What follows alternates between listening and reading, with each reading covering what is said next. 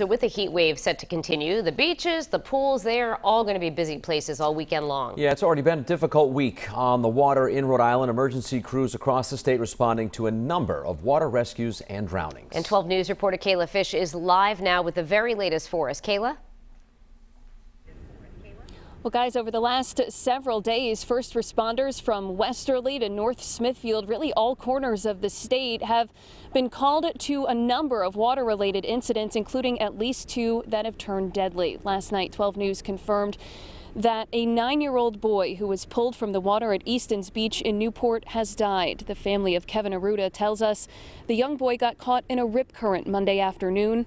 In North Smithfield, first responders say 18-year-old Ivandel Frederic of Woonsocket drowned after jumping into the Slatersville Reservoir with friends.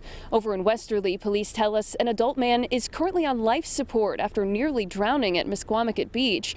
Another man was seriously injured at that same beach after breaking his neck while swimming, according to police.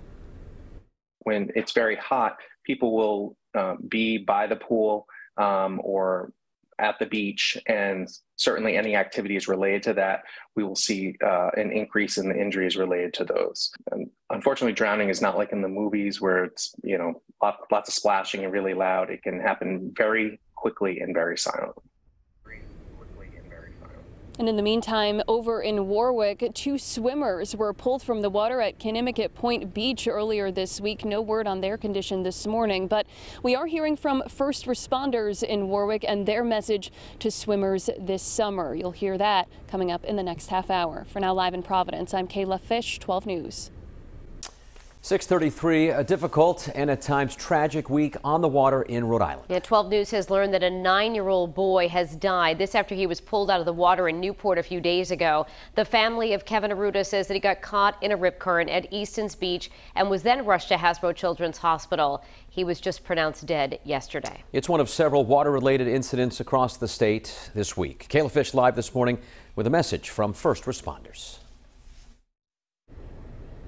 Well, 12 News spoke with a local doctor earlier this week who said that when the temperatures rise, unfortunately, so do the number of water related injuries and drownings. It's something emergency crews really in all corners of the state have seen firsthand throughout this past week. In Westerly this morning, police tell us two men are hospitalized after incidents at Misquamicut State Beach earlier this week. One man nearly drowned, another broke his neck while swimming. Meantime, first responders in North Smithfield say an 18 year old from Woonsocket drowned Wednesday after jumping into the Slatersville Reservoir with friends.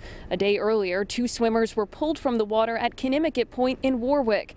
12 News spoke with lifeguards and first responders there about water safety as we continue to deal with this heat wave. Here's what they had to say. Dangers are out in the bay, dangers are in a pool. Stay within the areas marked for lifeguards. That's the most important thing. Swim with as a lifeguard and, and in, uh, and in safe areas and safe conditions. Don't overestimate your ability and don't underestimate the danger out there. Now, the family of the nine year old boy who died after being pulled from the water in Newport has set up a GoFundMe page to help offset medical and funeral expenses. You can find a link to that on our website, WPRI.com. Live in Providence this morning, I'm Kayla Fish, 12 News.